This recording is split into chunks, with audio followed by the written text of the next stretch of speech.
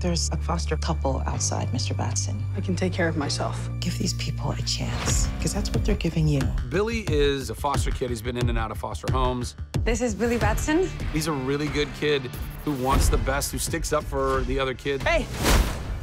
Man, sorry about that. And because he is pure of heart, Billy Batson, he's transported to this wizard I choose you as champion. who endows him with this power of Shazam. Shazam? He has this power of just saying one word and turning into a superhero. This means Billy! What is happening? At first, he goes to see his friend, Freddy. You're the only person I know that knows anything about this Cape Crusader stuff. What are your superpowers? Superpowers, dude? I don't even know how to pee in this thing. Freddy is a superhero fanatic. And so when he finds out that Billy is a superhero, he's like, I know exactly what to do.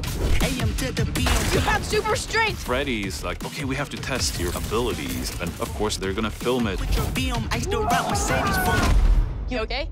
Why are you talking? I feel like any kid who gains the power of being an adult is gonna be like, we should do things that only adults can do. Duh. I'd like to purchase some of your finest beer, please. That tastes like actual vomit. It's wish fulfillment. I mean, what kid doesn't want to be a superhero? Exact. What an adult Person. doesn't want to be Yeah, a what superhero. person or kid doesn't want I'm to be a still superhero? waiting. Shazam is one of very few superhero characters that is genuinely stoked to be a superhero. Your phone's charged. Your phone's charged. The hell? More often than not, you've got a character who is begrudgingly pulled into this, and everybody needs them, and they're like, oh, I have to save the world again.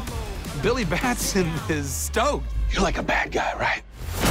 I just get to show up on set and be like, I get to do this? I get to fly around and fight bad guys? You have bullet immunity! You're dead.